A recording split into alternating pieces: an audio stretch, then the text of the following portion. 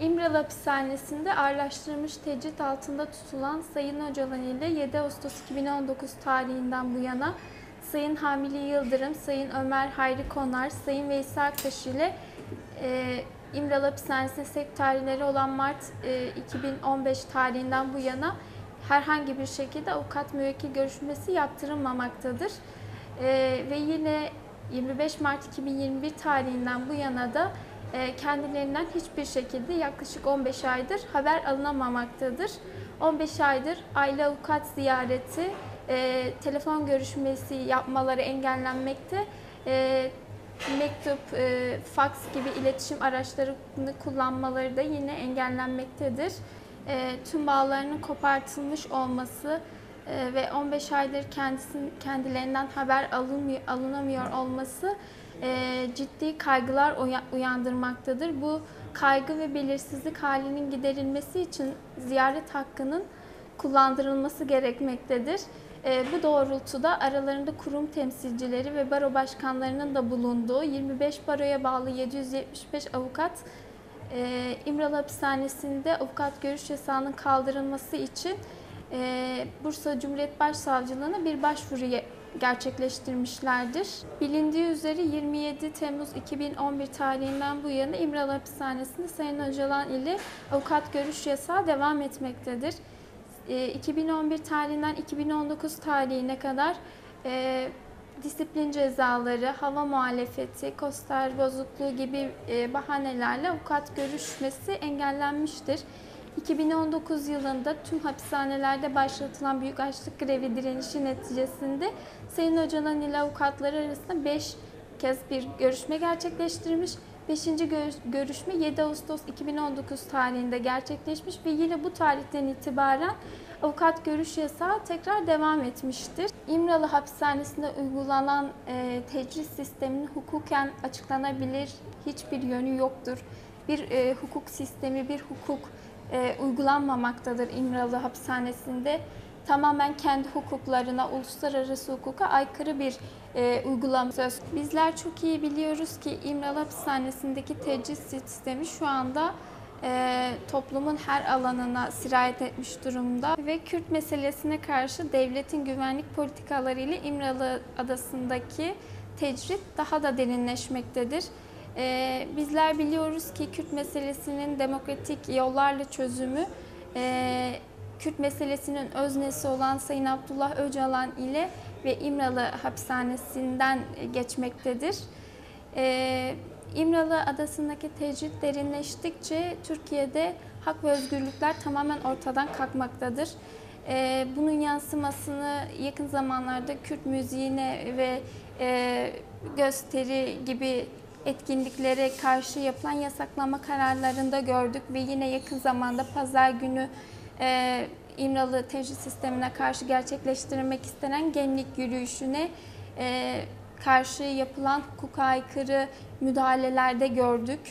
E, bu durum bize İmralı tecrit sisteminin, İmralı'da uygulanan tecritin toplumu nedenle etkilediğini açık bir şekilde göstermektedir. Dış dünya ile temaslarını sağlayacak e, mekanizmaların bir bütünden tamamen kesintisiz olarak engellenmesi ulusal ve uluslararası mevzuatlara aykırı olduğu gibi böylesi bir tecritin uygulanması hücre içinde hücre hapsi olduğu Birleşmiş Milletler İnsan Hakları Komitesi'nce Spiti tarafından doğrudan İmralı Hapishanesi ile ilgili yapılan tespitlerde incommunicado yani alıkoyma hali olduğu e, açıklanmıştır. Incommunicado adı verilen alıkonma halini e, halinin idarenin insafına bırakılması, terk edilmesi, herhangi bir denetleyici mekanizmanın bulunmaması İmralı Hapishanesi'nde ağır hak ihlallerine neden olabilecek e, niteliktedir. Bu zamana kadar İmralı Hapishanesi'ndeki ağırlaşmış tecrit sistemine karşı e, gerek iç hukuktaki başvuru mekanizmalarına, ulus, gerekse de uluslararası hukuktaki başvuru mekanizmalarına birçok başvuru yapılmıştır. Ancak bu başvuruların neredeyse tamamı yanıtsız ya da işlevsiz bırakılmıştır. İmralı Ada Hapishanesi'nde Sayın Abdullah Öcalan'a özgü geliştirilen bir e, infaz rejimi söz konusudur. Ağırlaştırılmış müebbet hapis dediğimiz infaz rejimi e, Sayın Abdullah Öcalan'a özgü geliştirilmiş bir infaz rejimidir. E, 5275 sayılı yasanın 25 ve 107. maddelerinde düzenlenmiştir. Burada e, hapis cezasının kişinin hayatı boyunca devam edeceği e, ve e, hiçbir şekilde ara verilemeyeceği düzenlenmiştir. Ancak e, bu konuda Ahim e, Öcalan 2 kararında e, bu durumun işkence yasağına aykırı olduğu, e, Türkiye'nin e, bu yasa maddesini hukuka uygun bir şekilde düzenlemesi gerektiğine ilişkin karar verilmiştir. Ancak Türkiye bu zamana kadar bu kararı yerine getirmemiştir. Buna ilişkin e, bak, Avrupa Konseyi Bakanlar Komitesi'ne bir başvuru yapılmıştır. Avrupa Konseyi Bakanlar Komitesi'nce e, bu Türkiye'de işkence yasağının devam ettiği, Türkiye tarafından herhangi bir düzenlemenin yapılmadığı tespit edilerek Türkiye'ye Eylül 2022 tarihine kadar bir e, yasal düzenlemenin yapılmasına ilişkin süre verilmiştir. E, bu bu kararın gereğinin yerine getirilmesi 23 yıldır ağır tecrit koşulları altında tutulan Sayın Öcalan'ın özgürlüğü ile mümkündür. Ee, Bizler biliyoruz ki Sayın Öcalan ile İmralı'da diyaloğun kurulabildiği, İmralı kapılarının açılabildiği e, süreçler Türkiye halkları için umut aşılayan süreçler olmuştur. Ee, İmralı kapılarının kapatıldığı, tecritin daha da derinleştirildiği süreçler ile e, süreçler ise e, toplumsal sorunların, toplumsal felak, felaketlerin daha da arttığı, daha da e, sorunsallaştığı dönemler olmuştur. E, Sayın Öcalan 23 yıllık tecrübe süresince sürekli demokrasiden, çözümden, barıştan, müzakereden yana olmuştur. Yani e, başvurumuzda 10-17 Haziran tarihleri arasında Sayın Öcalan ve Sayın e, Yıldırım, Sayın Konar ve Sayın Aktaş ile bir avukat görüşmesi yapılmasına ilişkin e, başvuruda bulunduk. Bu tarih aralığına kadar bir e, yanıtın verilmesi gerekmektedir.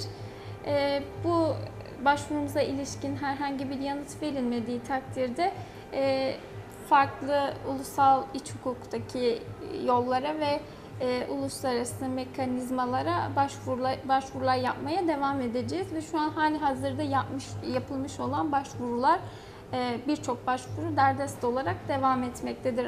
AYM'ye yapılan, Avrupa İnsan Hakları Mahkemesi'ne yapılan başvurular derdest bir şekilde devam etmektedir. Zaten yapılan başvuruların büyük bir çoğunluğu yanıtsız bırakılmakta. E, bir kısmı da işlevsiz bırakılmaktadır.